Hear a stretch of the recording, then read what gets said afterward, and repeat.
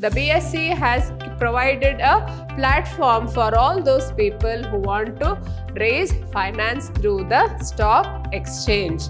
Whoever has to just trade in the stock exchange, he should be a registered broker or a sub broker. So everybody cannot act as a broker in the stock exchange. To advise SEBI on matters relating to regulation of intermediaries for ensuring investors protection in the primary market.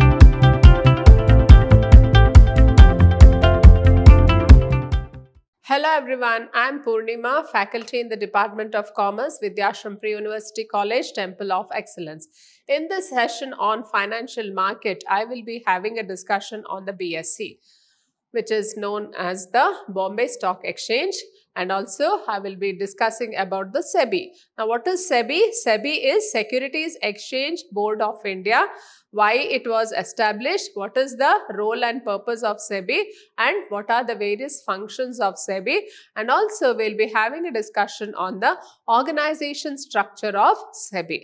Now let us look into what do you mean by BSCE. Now BSE, it is also called as the Bombay Stock Exchange.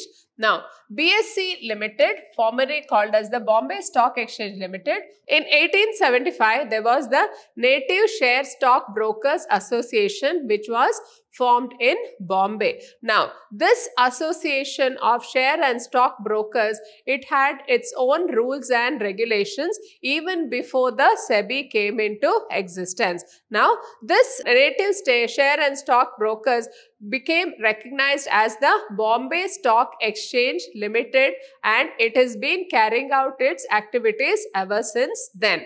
Now, let us look into the what this BSE has contributed. So, it has contributed to the growth of the corporate sector by providing a platform for raising the capital.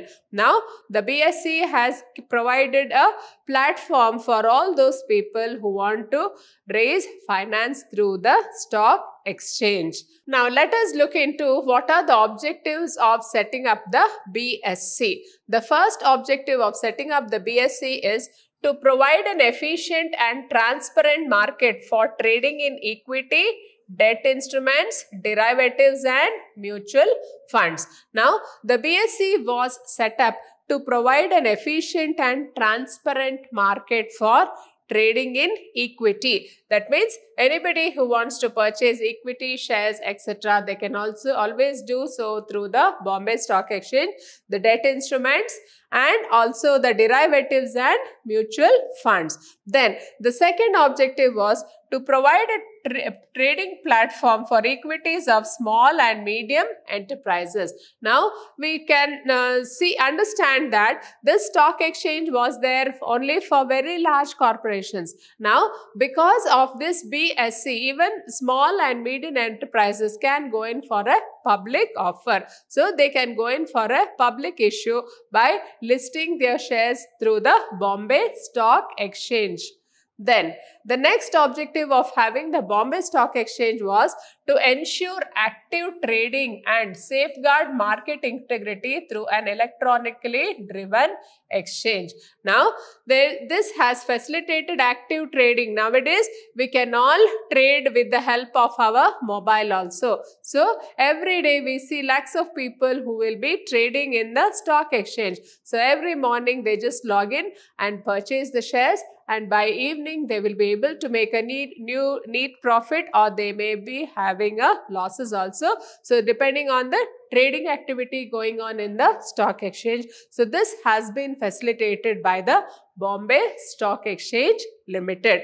Then it also provides other services to capital market participants like risk management, clearing settlement, market data and education. Now, in addition to providing a trading platform, it uh, offers other services. Now, what are the other services it is doing? Risk management. So, uh, what are the various risks the business faces and how to manage the risk? So, this will be done with the help of the Bombay Stock Exchange.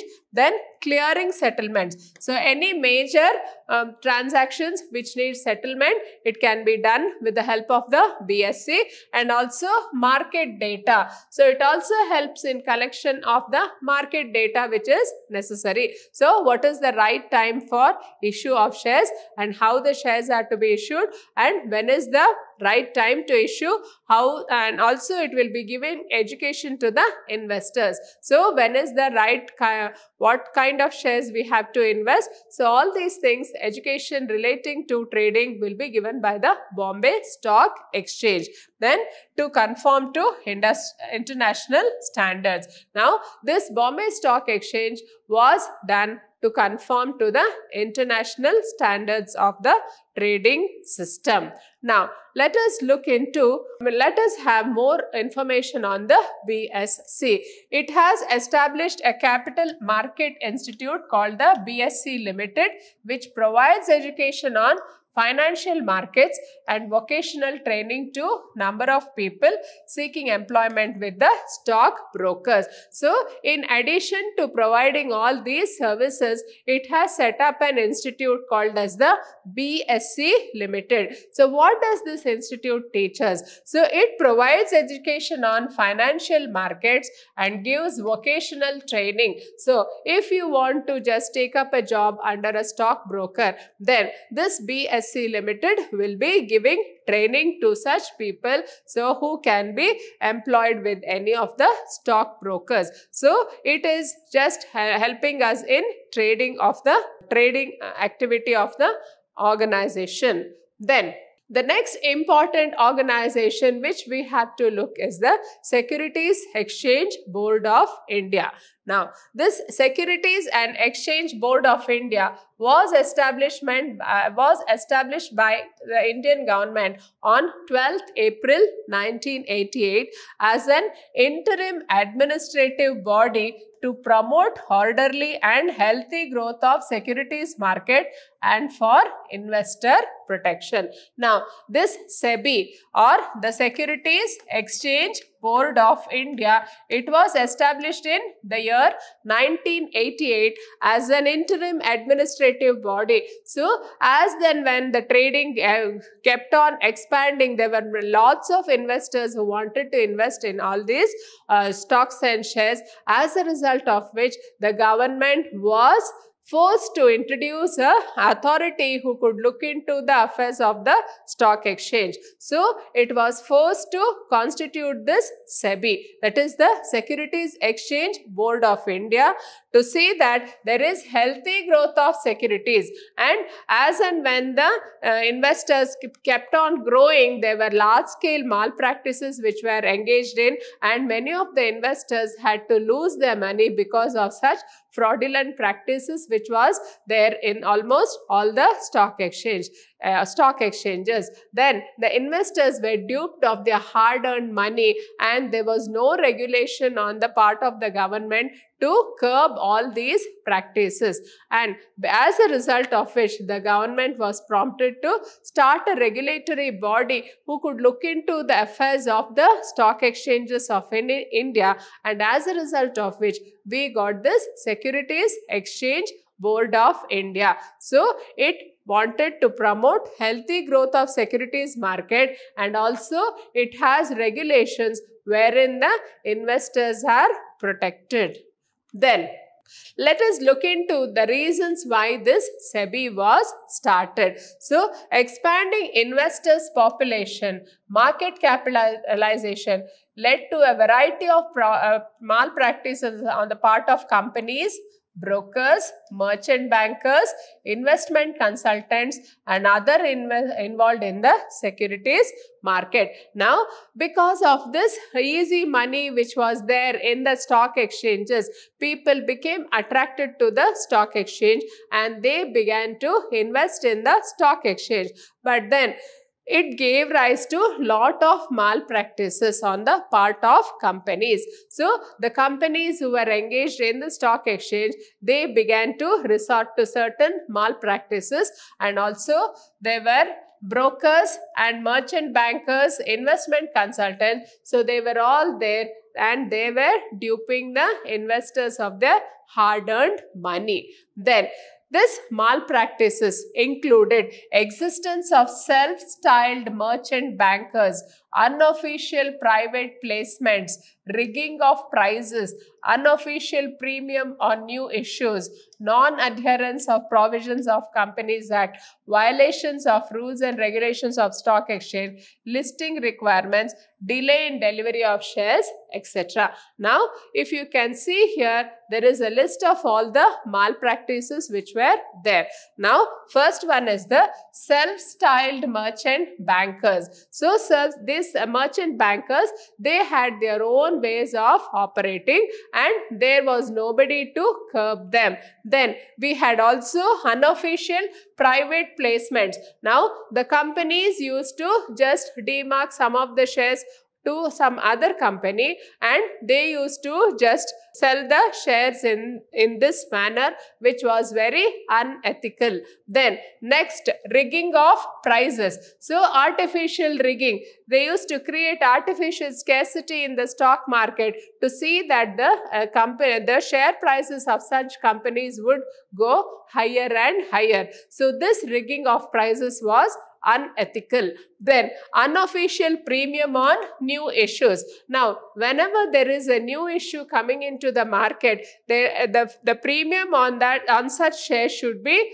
official. But then these companies used to have unofficial premium new issues and then non-adherence to the provisions of the Companies Act. So, whenever these companies were trading in the stock exchange, they were not, they were violating almost all the provisions which were there in the Companies Act and also there was a massive violation of the rules and regulations of the stock exchange and there was also delay in delivery of shares. So investor who had purchased the shares had to wait for a very long time to get the shares in his name. So these were all the rampant malpractices which were there in the Bombay Stock Exchange. As a result of which the SEBI came into existence. Then the next, the malpractices and unfair trade practices have eroded investor confidence and multiplied investor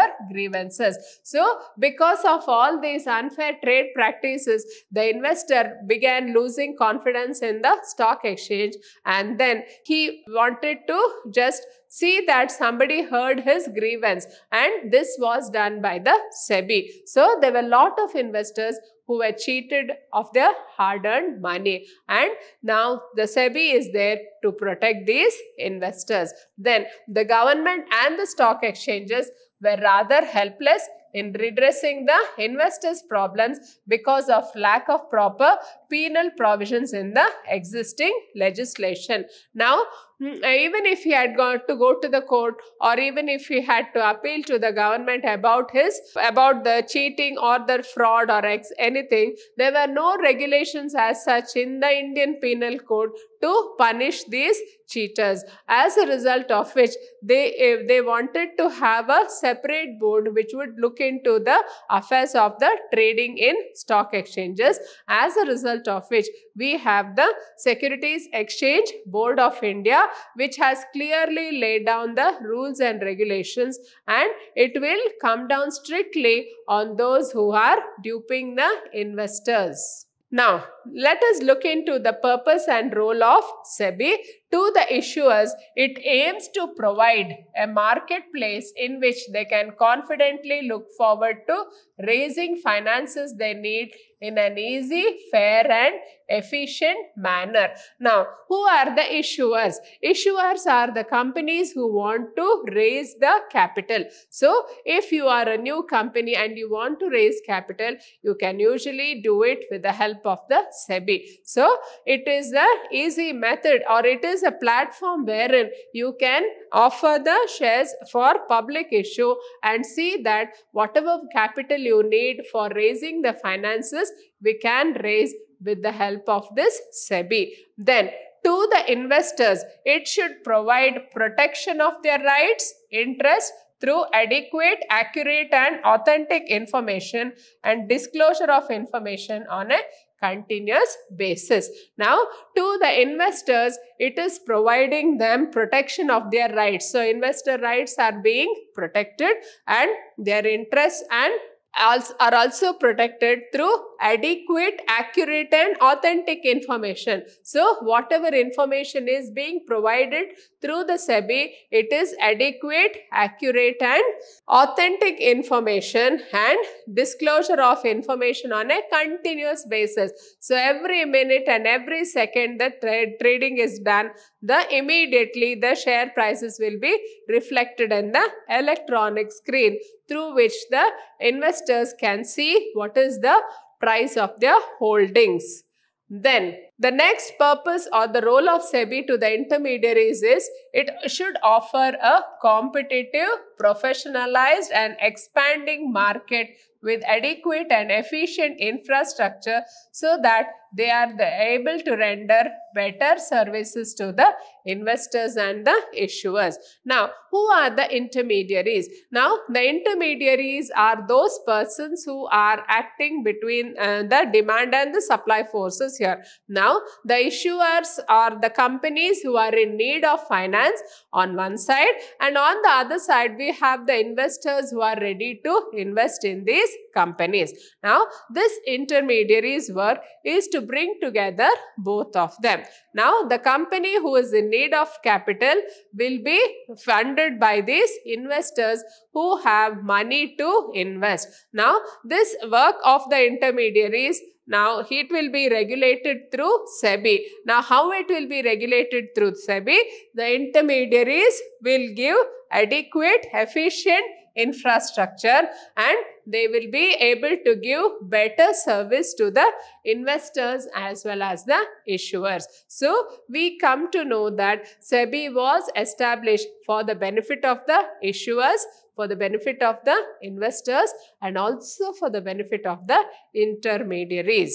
Next, let us look into the various objectives of SEBI. What were the various objectives with which SEBI was established?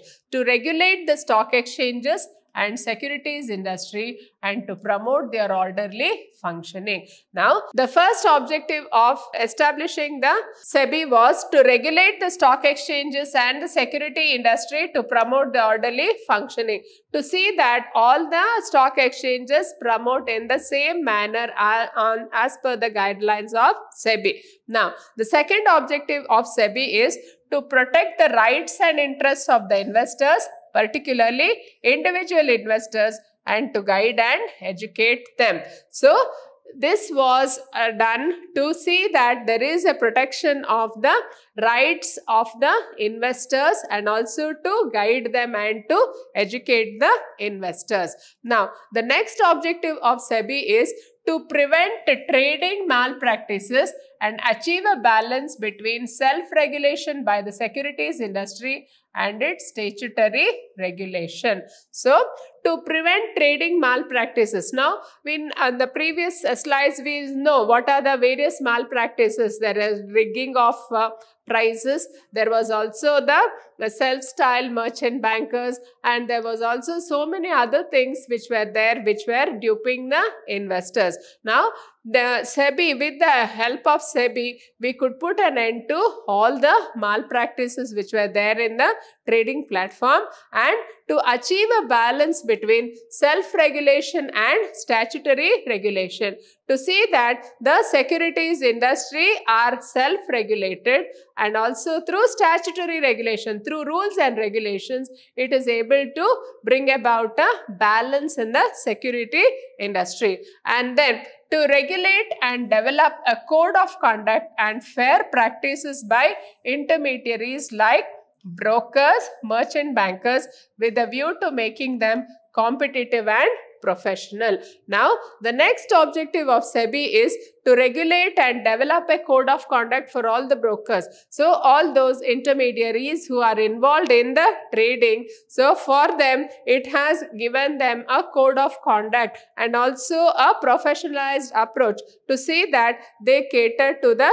needs of the investors and also to make them competitive and professional. Now, let us look into the functions of SEBI. The functions of SEBI are classified as the regulatory functions, development functions and the protective functions. Now, under the regulatory functions, we notice or we can say that the SEBI has made it mandatory for the registration of all the brokers, sub-brokers and the players of the stock exchange. So, whoever has to be a broker, he should be registered under SEBI. Then, the second uh, regulatory function is it has made it mandatory for all the uh, investment schemes that is collective fund in investment schemes like mutual funds they all have to be registered under SEBI. And then any takeover bid by any companies they have to be regulated by the provisions of SEBI. Then the next regulatory function is the SEBI has uh, called for audit of all the stock exchanges throughout the nation. So it can go and inspect the working of any stock exchange in the country whenever it wants to do so. And then all malpractices have been curbed in almost all the stock exchanges. And the SEBI also has a right to levy eh, charges for any of its services which is giving to the stock exchange. And it has also seen that there is a massive curb in all the malpractices and investors are feeling actually very very protected. So in this way we can see that there are the various regulatory functions of SEBI. Now, the next, the developmental functions. Now, in the developmental functions, the first kind of function uh, performed by SEBI is it is giving training to the intermediaries who are working in the stock exchange. Secondly, it is collecting all the market related data and information and publishing this news from time to time for the benefit of all the people who want to invest in the stock exchange and then it is also trying to develop the capital market through a flexible approach. Now, the third function of SEBI is the protective function.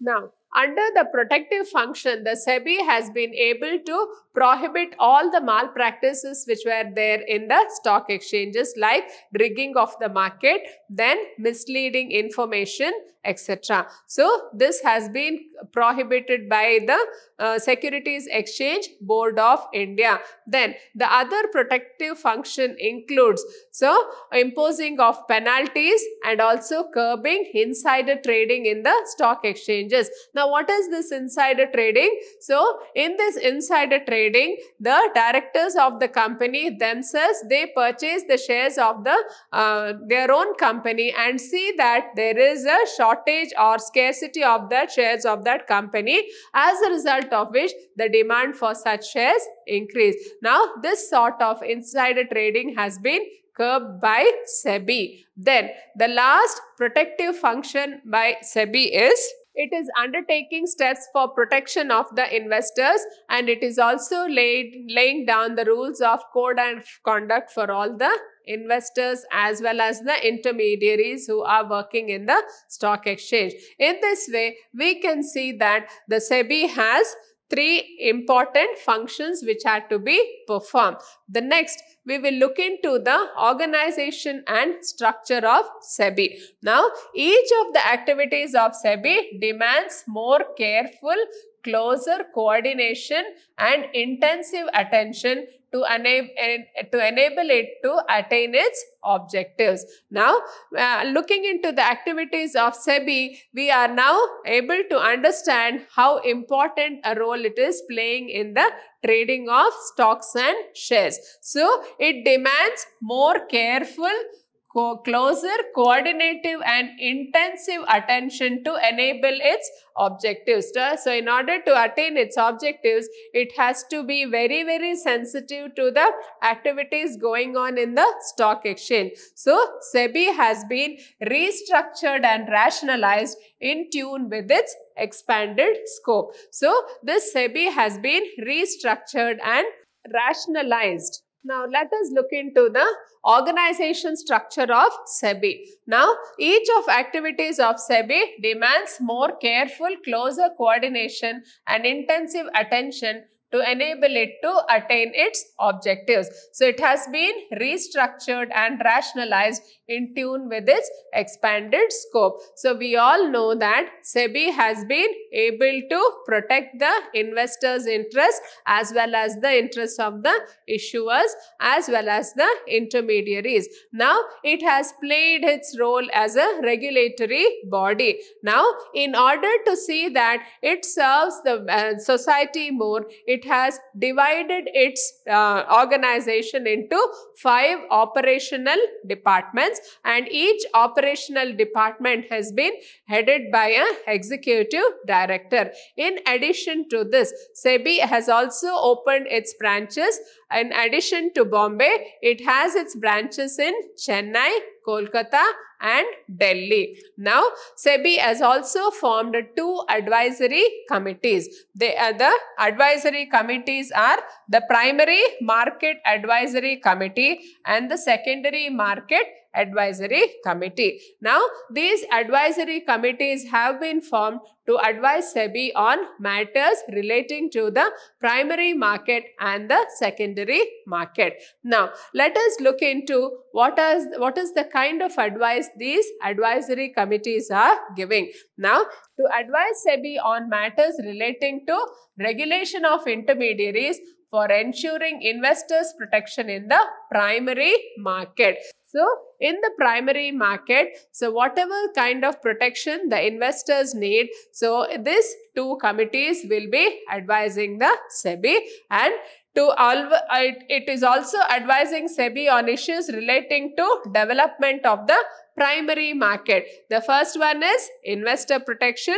Second one is development of the primary market. Then third one is on disclosure requirements for companies. Now, these two advisory committees also advise SEBI on disclosure requirements. So, what kind of information the company has to disclose to the public and what it should not disclose. So, it gives a list of all those things which the company has to disclose to its public before it goes for public issue. Then it also helps to advise for changes in legal framework to introduce simplification and transparency in the primary market. So, what are the changes to be made? What are the changes through which we can have transparency, simplification of transactions in the primary market. So, all the advice relating to this will be given by these two advisory committees and also it also advises the board relating to the development and regulation of the secondary market in the country. So, it also advises the board on issues relating to the security market. So, in this way, these two advisory committees have been advising the Securities Exchange Board of India and they are also helping in the all the stock exchange activities and all the trading activities in all over India. These advisory committees are not statutory and the SEBI is not bound by the advice given by these statutory committees. However, these two committees have been formed uh, as a constant endeavor by the SEBI to collect as much information from the market as much as possible and to see that it helps the investors, intermediaries and also the issuers. Hope you have all understood this session on SEBI and its functions. Thank you.